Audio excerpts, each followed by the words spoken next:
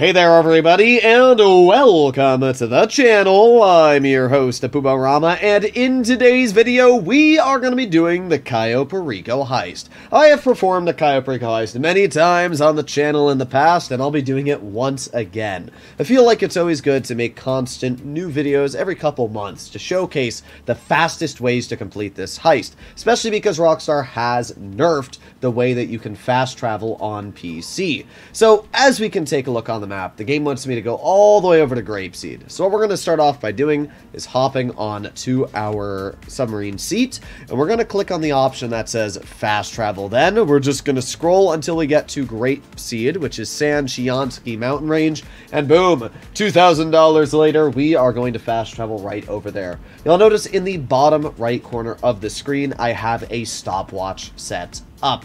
And that stopwatch is going to be going throughout the entire video. So even if I make cuts through the video, the stopwatch is on the recording. There's no way to cut it out. Because of that, you can obviously see exactly how long it's going to take me from start to finish to do all the setups and the Cayo Perico heist. We're going to add up how much money I was able to make, and then we're going to throw that into, uh, you know, comparing it to other businesses in the game.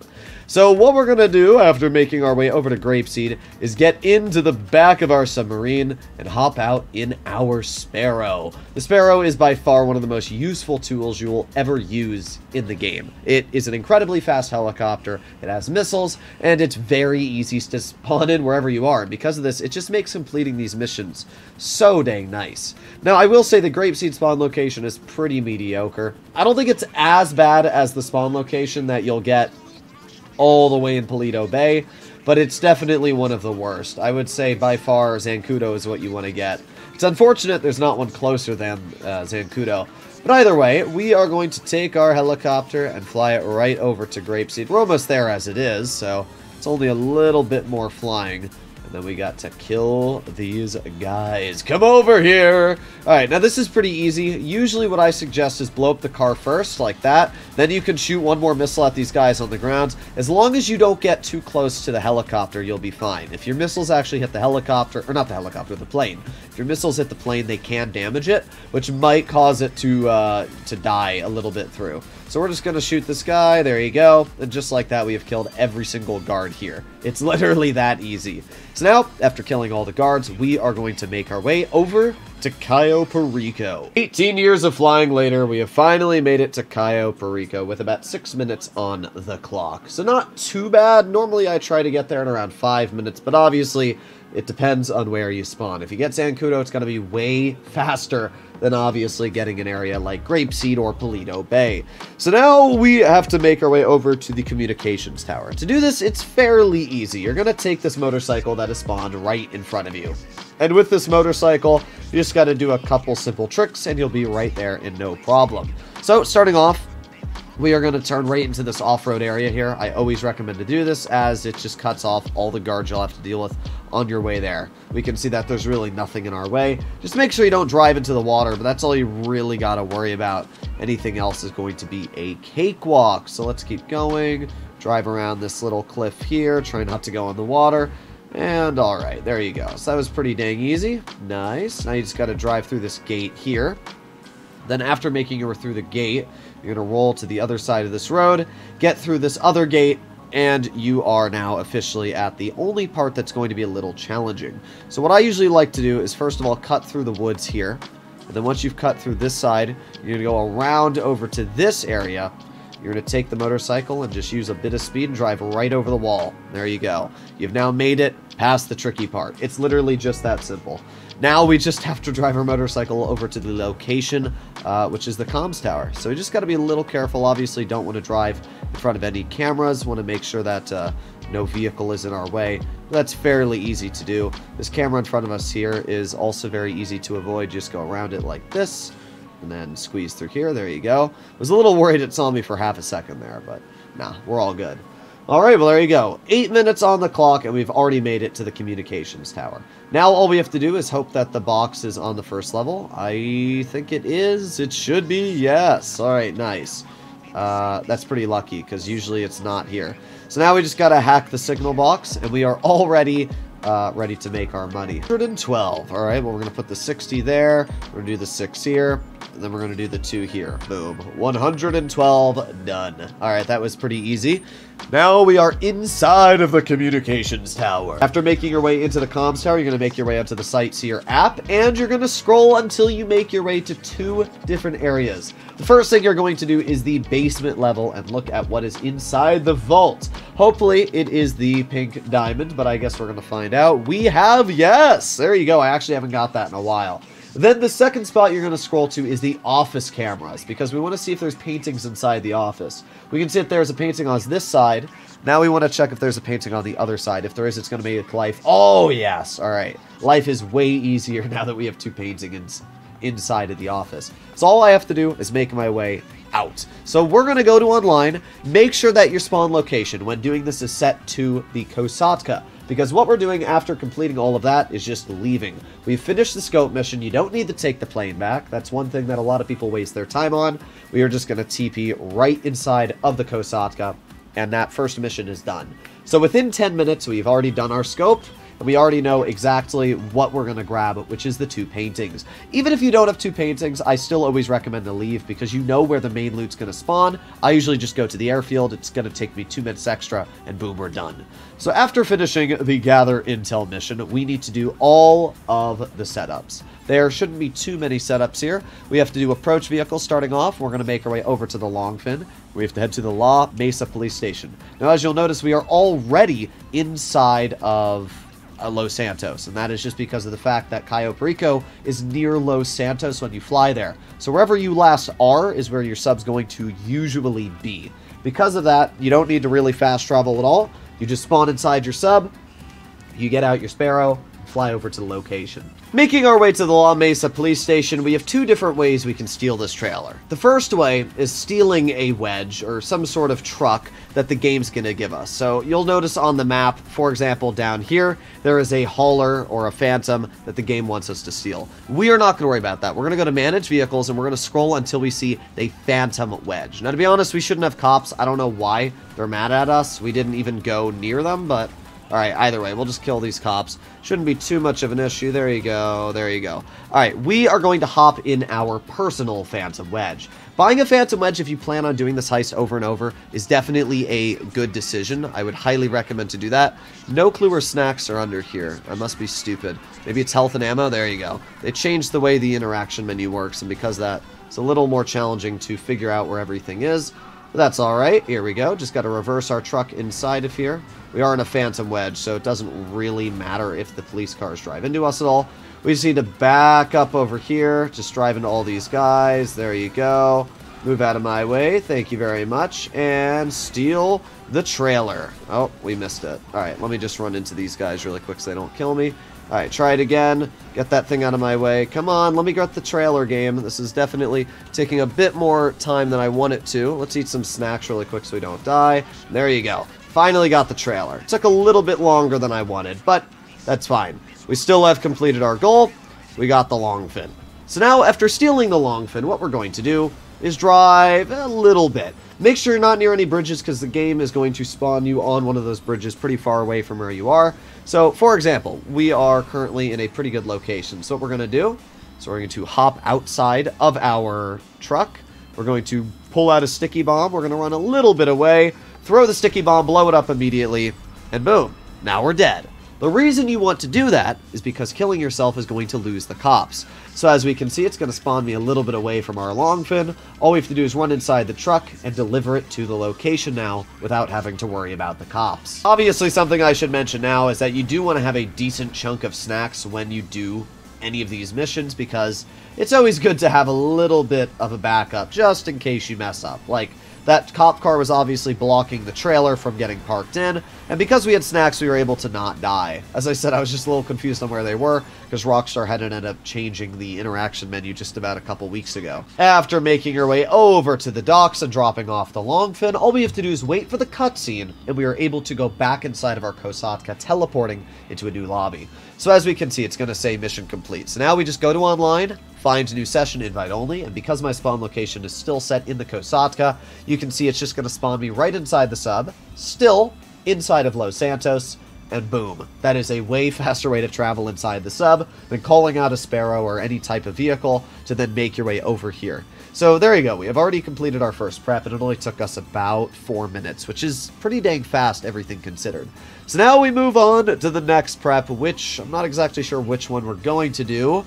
How about we try weapon loadout? This one's always a pain. I personally like crack shot. What we want to do is not Merryweather HQ. So you'll notice how it said Merryweather? That's fine. All we're going to do is load into a new invite-only lobby. That is the easiest way to skip the mission. There's people that are like, oh, you blow up the helicopter. Why, though? Why would you blow up the helicopter when you can literally just load into a new lobby, which is way faster, and then literally just do it again? So now we're just going to make our way upstairs, and uh, we should be able to, this time, hopefully not get Merryweather. You might keep getting Merryweather. Might take you like four or five attempts of doing this, but trust me, it is way, way faster than getting the Merryweather mission. That one absolutely sucks. Let's try again. Prep, weapon loadout. We go over to Crackshot. Boom. Merryweather HQ. Third time's the charm. Maybe, but just maybe, we won't get Merryweather. Here we go, crack shot, and there you have it. So, took me three attempts, probably about a minute and a half of redoing it. But that's fine, because now we have to go to the Schlongberg Sachs Center. And this is going to be a very, very quick trip. You can still see that our submarine is chilling right in the city, so it's a very, very quick flight over to this area we're going to go. Now, one big bit of advice I can give when making your way over to one of these locations is to request your At a different spawn area, which we'll do in just a moment. For any weapons loadout mission, you should always strive to use a helicopter. And that is because you can enter the roof of the building instead of going through the downstairs. You don't have to deal with any guards when entering the roof. All you want to do is make sure that your helicopter is in an easy location to get into the air. So as you can see, I'm personally going to land my helicopter right here. And that's very, very solid. So now, all we need to do is hop into that helicopter on our way out, and we're done. So let's get inside of this office building here. Usually there's two different ways you can deal with the people inside the office building. The first way is pulling out the stone hatchet. This is going to give you infinite health and you don't really need to worry about anybody. And that's what we're going to do right here. So with the stone hatchet, we just run up to this guy. Boom. After we get the kill, you can see we have the stone hatchet ability. So now we can just kind of kill everyone here. We don't need to worry about dying at all. You can see we kill those two guys there kill this guy here. Then we can pull out our gun and kill the rest, and just like that, they're all basically dead. We don't need to worry about any of them. There's one guy in the back there, but not anymore. There you go. So now we just got to find the office safe, which we already have. Open the gun locker. It's locked, so we're to have to hack the computer. After hacking the computer, you're to collect the weapons and leave. Now, I don't obviously want to deal with, uh, oh, what am I, where am I going? Okay, there you go. Yeah, I'm to take a shower. Don't worry about me, guys. Make sure when you leave the building, you exit through the roof and not the bottom, because if you misclick there, that will be a bit of a pain. Put on some snacks, put on some armor before you do leave, because there is going to be a helicopter after you above and that helicopter is always going to be rather annoying. So we're just going to get inside of our Sparrow. Here we go. And boom, there you go, we have completed the mission. Now you heard earlier that I was talking about changing your Kosatka spawn location. So if you go to Service Vehicles, Kosatka, and you press Request Kosatka, it's going to spawn it again wherever you are to the nearest location. So as you can see, instead of our Kosatka being all the way near the Merryweather docks, it is in Vespucci. So now all we have to do is fly right over to Vespucci, and our Kosatka is going to be here, which is way, way faster in terms of location and flying time. So just a little tip there, which will indeed save you some overall useful time.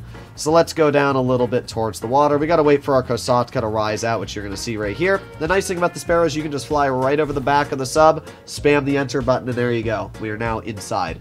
These missions, any of the missions where you have to actually grab a physical object and bring it back, you are not able to fast travel because it's not going to keep the object on you. So you're actually going to have to fly back to the location to complete the mission. So just a little over 20 minutes and we have been able to complete two of our preps. And these are obviously the longest preps of the bunch. These other ones are quite easy. The first one we are going to do is the plasma cutter. So we're going to have to head over to the safe house. Making your way to the first safe house, all you need to do is take a picture of the wall in front of you. So as we can see, there's a board where we can just go onto our phone very briefly, zoom into the wall, although that might be an awful spot to take the... Oh, no, we can still send it. Apparently that post doesn't exist. So there you go. We already just took a picture of the photograph or whatever, and now we uh, now we leave. That's how easy it is to skip that first little part. Now, we're going to make our way back inside of the Sparrow, and we're going to fly and wait for Pavel to give us the next location, which we can see on the map. So we have to go over to Del Perro. Again, this is why it's always important to have your Kosatka near the shore, especially in Vespucci, because of the fact that we can literally go over to any of these spawn locations, and they'll be right next to your Kosatka. When it comes to completing this mission, usually what I like to do is land my Sparrow facing away from wherever we're going to be. Then I'm going to go into manage vehicles I'm going to call out my Vapid Speedo Custom. Now if you don't have a, a Speedo Custom, it doesn't matter too much. I just personally really like this vehicle because it's very easy to use. It has a minigun on the roof that we can kill any guards with, and uh, it's a fairly well armored vehicle, so nothing's really going to be a huge problem. So all we're going to do now is reverse our Vapid Speedo Custom right over to where these guys are. We're going to hopefully kill all of them very, very quickly, just like so. There you have it blow up that van, get rid of this vehicle here. Then you can see they're going to spawn some guards on us, but that doesn't really matter. We can just kill that guy right there, kill this guy right here. There you go. We just killed all the guards. That literally took like half a second. They're all dead. Now we just got to get rid of these guys over here. As we can see, there's some more people in the wall. Okay, there you go. And done. Okay, so now as we can see, it's going to spawn more guys on me. Now we're just going to eat some snacks very briefly, and we're going to pull out our explosive shotgun. Goodbye, you're all gone. However, it looks like my Sparrow is not doing all too well, so I'm going to have to call out my Oppressor Mark II. Actually, no, that's fine. We don't need to call out our Oppressor. I'll just call out the Buzzard, which we can see spawned right in front of me here. We're just going to hop on our Buzzard very, very quickly. Go to uh, health and ammo really quick, eat some snacks so we don't die that's a nice thing if you do end up blowing up your Sparrow and you do end up owning a Buzzard or some other flying vehicle. You can always call one of those things out as well. And we can already see our Kosatka in the distance, so we're going to head right over there. If you do happen to end up not using your Sparrow or you're uh, blowing it up like I did there, pretty easy. Just land your helicopter right on the front of the sub. It's probably going to sink when you enter the sub, but that's fine, because all we need to do is enter the front hatch, and we can use our Sparrow again, which is already respawned inside. So there you go. Heist prep complete. Plasma cutter delivered. We're at 25 minutes now. You can see just how quick you can complete all these preps. Now we're going to do the next equipment, which is the fingerprint cloner. This one is even faster than the previous safe house one. I'd actually say the safe house prep is kind of annoying. I also always go the wrong way. I always I always go to the back of the ship instead of the uh, the where the sparrow is. When making your way over to the warehouse, you will notice that there are security cameras. Now, some of the buildings, the security cameras are going to be really easy to disable. We can see, for example, this one, you just head right over here and you can disable the cameras. It's pretty easy to do. However, I personally don't even care. You're going to see me just run right in here, and I'm just going to kill all the guards. It takes like half a second. You just blow them up. There you go all the guards are dead. I mean, it's it's that simple. However, I just accidentally walked back outside because for some reason that's a thing. It doesn't really matter anyway. You have to wait for Pavel to stop speaking his long monologue to you about uh, finding the computer anyway. So there you go. All the guards are dead. We gotta wait for Pavel to stop speaking to us and then we're able to hack the computer. Hacking the laptop is obviously incredibly easy. This is like the easiest hack in the game, but I like it because it is so easy. So there you go. We've completed the first hack. Now we have located the archive. So we're going to leave this little storage unit here. We're going to head into our Sparrow, and now we have to fly over to the next location. Now, even if you get the guards mad at you here, nobody's going to spawn on you, which is kind of funny, and you won't even get cops. So you just need to go over to the archive, and this time, oh, well, I didn't mean to do that, but should be fine. Our Sparrow's not going to die within the next minute anyway. So in making your way over to this archive, you do actually want to get rid of the camera here, mainly down to the fact because if you don't, guards will spawn on you if you get them mad. The fingerprint cloner will almost always be located. The fingerprint cloner will always be located at this back little desk here. You just need to run around. There you go. It's on the desk, and boom, we've grabbed it. Now we just have to make our way back over to the Kosatka once again. Oh my god, our Sparrow almost did not make the trip, but we finally got there. 30 minutes, just about on the dot, and we've completed the third prep. That means we only have one to go, which is the cutting torch, and this is always the easiest prep by far. Depending on which construction site you're taking the cutting torch from, it can change your approach a little bit. However, the one we're at is a pretty easy one. I've got this little balcony here that we're able to land our helicopter on, so that's exactly what we're going to do. I'm going to land a helicopter directly facing outward, so when we leave, we can just hop right in, I'm going to leave the door open. Now, you'll notice there's a hard hat right in front of us, so we're just going to walk up to this. I'm going to wait for the uh, text prompts to go away. I guess we have to walk away and come back to the hard hat very, very quickly. I usually recommend to put on the hard hat just because sometimes you will get like a weird spawn location of the cutting torch and you won't find it. So because of that, it's usually smarter and better safe than sorry. So we've checked the first area, don't see the cutting torch there. Check the second area, don't see it there. Let's keep on going, keep on going. There we go. Finally, we have found the cutting torch. Now we just gotta take it. Because we're wearing the hard hat, they won't suspect a thing. So we just have to leave with our sparrow, and we have completed every single setup. So literally, that's it. 32 minutes from start to finish, and we've been able to do every single setup for the heist. And that's it. Now we just got to do the heist. And delivered. We are ready to do the heist. So let's make our way all the way to the front of the sub, and let's get this started. I'm actually really, really excited. I haven't done the Cayo Perico heist in a while, and I'm excited to see how fast we actually are able to do everything here. So, as usual, always buy super heavy armor. You might not need it, but it's still a good idea. Now we're going to start it up. We got to choose all of our areas. We're going to do North Dock, Infiltration Point Drainage Tunnel. Uh, it doesn't really matter where you escape. Doesn't matter what time of day you set. Uh, putting suppressors on your weapons also doesn't matter because the game automatically does it. So we've already done all of our settings. Shouldn't really take you too long to mess with them. We get to do the heist. Should take you on average about 8 to 12 minutes to do the heist, depending on what targets you get. It's only about 8 minutes if you have what I have. Actually, might even be less than 8 minutes. Literally, all I have to do is enter, steal the diamond, go into his office, take the, the main targets there, and we're done. So this is going to be really, really easy. Not sure why our boat went this far up, so I guess we're going to have to reverse a little bit. Give me a second. All right, we've made it to the grate. This part's always really, really easy. You just got to cut it off, so I'm not even going to bother showing it. And done. Now we just have to make our way through the drainage system and steal his diamond. I mean, I don't know, this heist is always a little too easy. I think that's the reason why Rockstar keeps nerfing it, is they've realized, huh, maybe making a heist that only takes like five minutes from start to finish to complete is a little stupid. So all we have to do at this point is follow my current pathing. Just run straight ahead, then we take a little turn here, then we keep running, we climb over this, wait for this guard to turn away for a second, which only takes literally like five seconds. There you go. He's... Ah, yes, that's how guards walk. I forgot. Either way, just run past that guard. Make sure that you pull out your pistol up here. Try not to shoot this guard unless you have to. Usually I just try to whack him in the head. So he's going to pop over here. There you go. Boom. Whacked in the head. Done. We have the gate keys, but we don't really care about the gate keys. All we're up here for are two things. First of all, we're going to open the safe and grab some money. Should be pretty easy. And there you go, $78,000. Now we are going to steal the two paintings inside the office, which is going to be very quick. There you go, one cut, two cuts, three cuts, and four cuts. I don't know how much these are worth, but hopefully a decent amount. I don't think Rockstar nerfed the painting payout, so it actually should be pretty good. There you go, yeah, $250,000 for that one. Then we're going to come over here, take this painting off the wall, and then after we take the two paintings, all we have to do is take the diamond, and we're literally done with the heist. It's that simple. So there we go. Thank you very much. That should be, what, $400,000 or so? Yeah, $420,000. So let's just do the fingerprint hack, make our way downstairs. And all hacks have been completed in about 35 seconds. So very, very easy to do. After all of this, we're heading downstairs.